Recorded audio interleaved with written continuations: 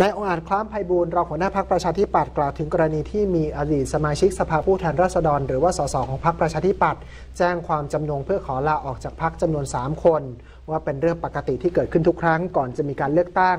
โดยสสของแต่ละพักการเมืองจะตัดสินใจย้ายพักตามเหตุผลส่วนตัวของแต่ละคน ซึ่งลักษณะของการย้ายพักจะแบ่งออกเป็น2งสองส่วนก็คือ 1. การย้ายไปเพื่อสังกัดพักอื่น สาเหตุเพราะอุดมการสอดคล้องกัน หรือว่าไปจะตั้งพักใหม่ขึ้นมาตามอุดมการของตน และเหตุผลส่วนที่ 2 ก็คือการย้ายเพราะพลังดูด เนื่องจากอาจได้รับผลประโยชน์ต่างตอบแทนในรูปแบบต่างๆ ทั้งทางตรงและทางอ้อม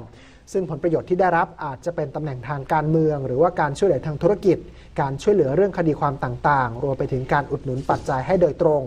ทั้งนี้คุณองอาจเห็นว่าการลาออกของอดีตสสดังกล่าวไม่ได้ส่งผลกระทบต่อการขับเคลื่อนการทำงานของพรรคประชาธิปัตย์ยุคใหม่ครับเพราะว่ามีหนุ่มสาวคนรุ่นใหม่ไฟแรงขอแจ้งเกิดทางการเมือง สนใจที่จะลงสมัครสสในนามของพรรคตามเขตพื้นที่ต่างๆจำนวนมาก อีกทั้งอดีตสสที่เหลือส่วนมากเกือบร้อยเปอร์เซ็นต์ยังสมัครใจทำงานรับใช้ประชาชนร่วมกับทางพรรคประชาธิปัตย์ต่อไป ก่อนหน้านี้ครับนายพิสิทธิ์เวชชาชีวะหัวหน้าพักประชาธิปัตย์กล่าวถึงกระแสดูดสสในพักว่า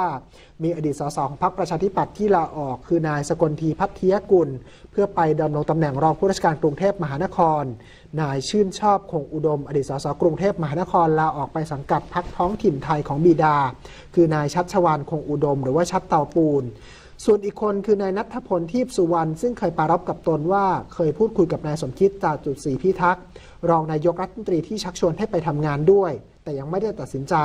ตอนนี้อยู่ต่างประเทศ หลังจากกลับมาถึงเมืองไทยแล้วก็จะมาพูดคุยกับตนอีกครั้ง นอกจากนี้ก็มีนายธานีเทือกสุบรรณอดีตสสสุราษฎร์ธานีที่ลาบวชก่อนหน้านี้ จึงไม่ได้เข้ามายืนยันสมาชิกภาพเช่นเดียวกันครับ